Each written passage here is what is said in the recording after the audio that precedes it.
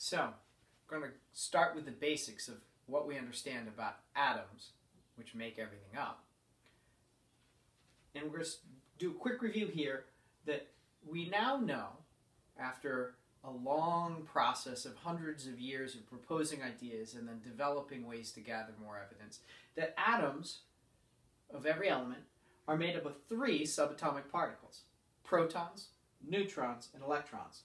Protons are, are particles that have a positive charge, and relative to everything else in the atom, they do have mass. They contribute to the mass of the atoms. So we say they have about 1 AMU, one atomic mass unit of mass. Also in the nucleus, you have neutrons. Now, neutrons have no charge, or they're neutral. My little pet peeve on the side, no such thing as a neutral charge. You either have a charge or you don't. Neutrons have no charge, okay? And they also have mass about equivalent, just a tiny bit heavier than protons. So for our purposes, they each have one atomic mass unit worth of mass. And both of these particles you find in the core of the atom, the dense core called the nucleus, right? The structure that uh, the gold foil experiment gave us insight into uh, how atoms are structured, that there's dense cores of positive charge that it turns out also have uh, other particles that contribute to the mass that act as the glue. Because think about protons, they're all positive. What do you know about like charges? Likes repel each other. So if it weren't for neutrons, the only thing that would exist would be hydrogen.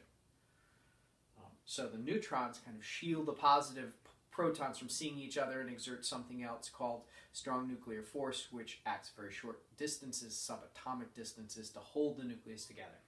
And the nucleus of an atom is the tiny central part. Most of an atom, turns out, is empty space. In that empty space, you have electrons. Electrons have the negative charge that counterbalances the positive charge of the protons. Their mass is 1 1836th of a proton. So we say that the mass of an electron is fairly negligible. It doesn't really count, it doesn't tip the scale. The analogy I've often made with my students in class is it's sort of like the difference if you put an elephant on a scale and weigh it in terms of tons, and a fly lands on the back of the elephant, the scale, based on the scale we're reading it at, really isn't going to show the mass of the fly or the weight of the fly. And, and that's kind of the way electrons are relative to the rest of the atom. But they're in the big empty space around each nucleus, buzzing around, orbiting. And we're going to explore a little bit more in a later installment about how we describe that with something called quantum mechanics.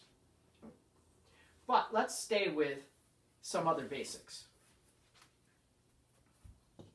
So two defining aspects, information you find on a periodic chart about every element. You have the atomic number, otherwise shorthanded as the Z number. That's the number of protons that's in an atom. And that's what defines which element it is. Because every sample, every atom of any given element will have the same number of protons. All samples of hydrogen have one proton. If it has two protons, it's not hydrogen, it's helium. Okay? So that's the one consistent aspect of every atom of any sample that's of a given element, okay? Is the atomic number. So that's what we use to define what element an atom is or belongs to or is a sample of. The atomic mass is made up of protons and neutrons. Remember, protons and neutrons have about the same amount of mass. So we say they both contribute equally to the mass of an atom. So it's the sum of the protons and the neutrons. Now here's the thing. We can have different numbers of neutrons for samples of atoms of the same element. Okay? Different numbers of neutrons, so we call those things isotopes. The prefix iso, just like in geometry when you learn about isosceles triangles, have two sides that are the same. Isomers, a chemical term that we may come across in later installments, elements with the same chemical formula but different structures. So iso means the same or similar. So isotopes are atoms of the same element, but they weigh different. Why do they weigh different? Because they have different numbers of neutrons. So the value in the chart for atomic mass is usually an average. It usually has a decimal attached to it because it's an average of all the different samples of that element. So the different versions or isotopes, the different atoms based on mass, all have the same number of protons, but because they have different numbers of neutrons. And they occur in different amounts, at least as what we've observed in nature. So based on our observations, the value in the chart is a weighted average.